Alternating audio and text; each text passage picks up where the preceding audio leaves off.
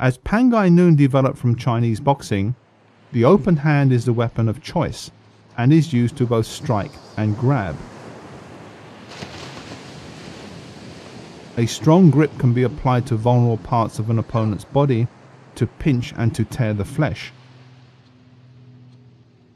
The crushing pressure of a well-conditioned hand can also be used to control an opponent after he has been subdued by a blow.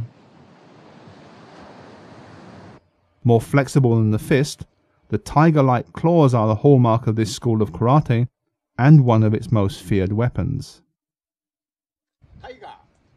To develop the paralyzing grip of Pangai Noon, nigirigame, literally gripping jars, are employed. Made of heavy ceramic, with the neck constructed to fit the trainee's hands, they can be progressively filled with sand or stones as the student improves to increase their weight and therefore their conditioning effect.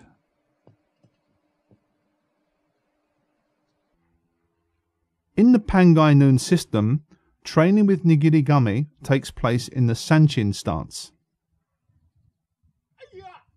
As the body is tensioned, the jars are raised. The shoulders are pulled down into the correct position, causing the muscles in the sides to tighten, and the fingers strengthened by gripping the necks of the jars and resisting their weight.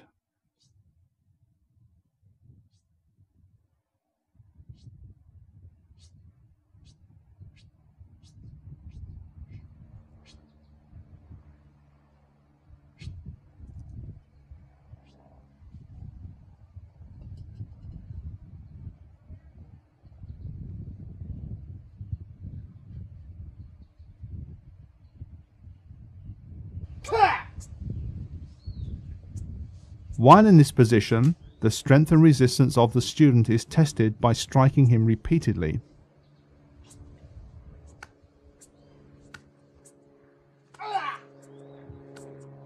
The degree of tension must be sufficient for the muscles to withstand powerful attacks without lasting effect.